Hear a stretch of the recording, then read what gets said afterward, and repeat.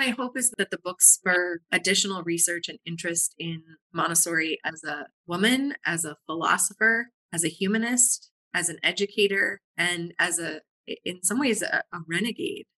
And that more people do more research, that they think about both the idea of applied research, but also ways to think about her intellectually and theoretically that we haven't. Maria Montessori deserves to be elevated into the canon of educational philosophers that we know and see as educators around the globe.